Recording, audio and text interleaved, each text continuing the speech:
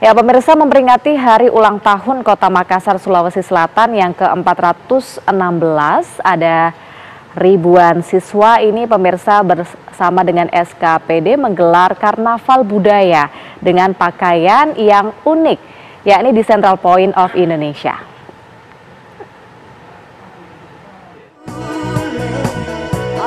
Kemeriahan karnaval yang digelar memperingati ulang tahun Kota Makassar, Sulawesi Selatan yang ke-416 tahun, di mana Satuan Kerja Perangkat Daerah atau SKPD bersama siswa SMP sekota Makassar mengenakan pakaian tradisional menghibur para pengunjung di Central Point of Indonesia, Makassar. Sekitar 3.000 peserta dilibatkan dalam tarian kolosal dan karnaval budaya di HUT Makassar tahun ini.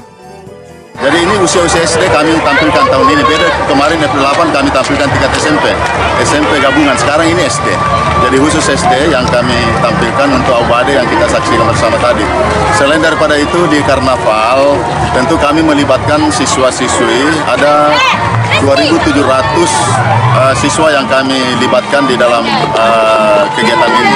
Dan seluruh uh, anak-anak uh, kita terlibat di berbagai uh, SKPD baik di kecamatan.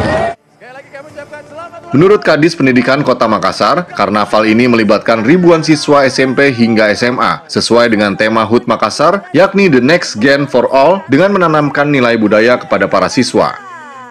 Yang pertama tentu harapan kita bahwa kegiatan Hari Ulang Tahun Kota Makassar ini tentu merupakan ini adalah merupakan ruang anak-anak kita. Ya, kami Dinas Pendidikan sangat berterima kasih dengan adanya kegiatan karnaval. Tentunya anak-anak kami ini terlibat langsung di dalam hal kegiatan-kegiatan karnaval. Tentu hal ini juga terbukti bahwa membuktikan 18 revolusi pendidikan di program Bapak Wali Kota Makassar. Tentu ini kita tampilkan bakat-bakat anak-anak kita, anak-anak muda Makassar eh, seperti ini. Selain karnaval, berbagai pertunjukan dan hiburan juga digelar dalam rangka HUT Makassar ke-416 demi menghibur para pengunjung. Dari Makassar, Sulawesi Selatan, TV One mengabarkan.